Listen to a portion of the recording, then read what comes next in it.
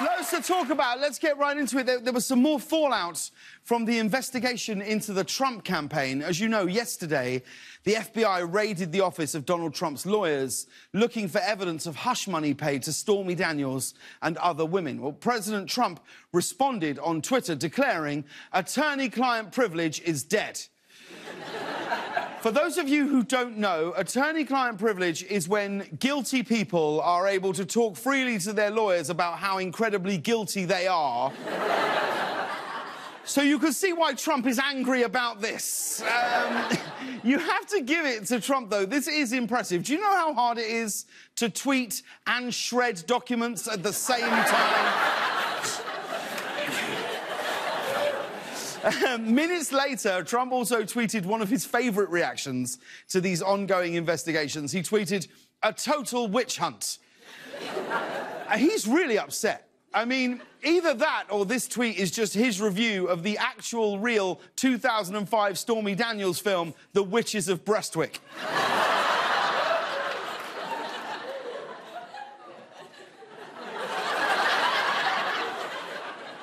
we didn't make that up. I wonder if that's what all these witch hunt tweets are. He's just, this film is a total witch hunt. Um, and this is a huge story. Today, Facebook CEO Mark Zuckerberg testified in front of Congress about the company's failure to protect millions of its users' private information. Here's a photo from the testimony today that's been making the rounds. Right after that, Zuckerberg was like, hey, guys, don't forget to tag me in these.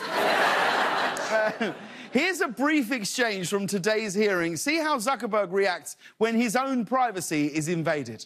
Mr. Zuckerberg, would you be comfortable sharing with us the name of the hotel you stayed in last night?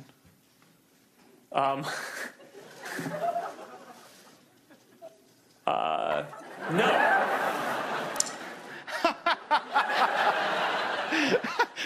Having fun, aren't we? you let Russia pick the president, but it's nice that we can have a good laugh about it. it? Was a pretty rough few hours for Zuckerberg. He took a lot of criticism, or, as the headline on Facebook said, brave CEO delivers inspirational speech.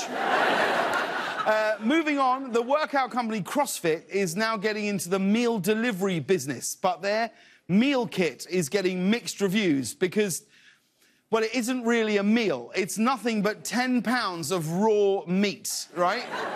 Here's a photo of what you get delivered to you in your CrossFit box. I know, and you thought your dog chased the mailman before. it's just giant slabs of meat all packed together. Oh, no, wait, that's a CrossFit class. Sorry. The way the workout program works is CrossFit leaves you raw meat on your front porch. You eat it, get infected by E. coli, and immediately lose 20 pounds. and finally, we had to show you this. A Wheel of Fortune contestant lost $7,000 after completely solving a puzzle, but then he.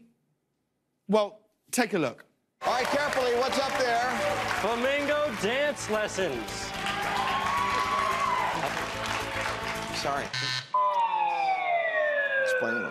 So, uh, to, to, explain, what, what we all heard was, and I know you didn't mean to say it, but you gave us a G instead of a C.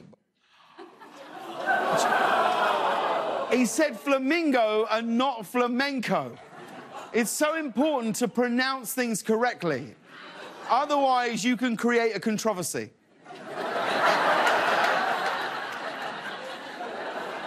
wow. That joke went right into the urinal. He was gracious in his loss, but before he left, he asked Pat Sajak for two additional letters. He asked for an F and a U.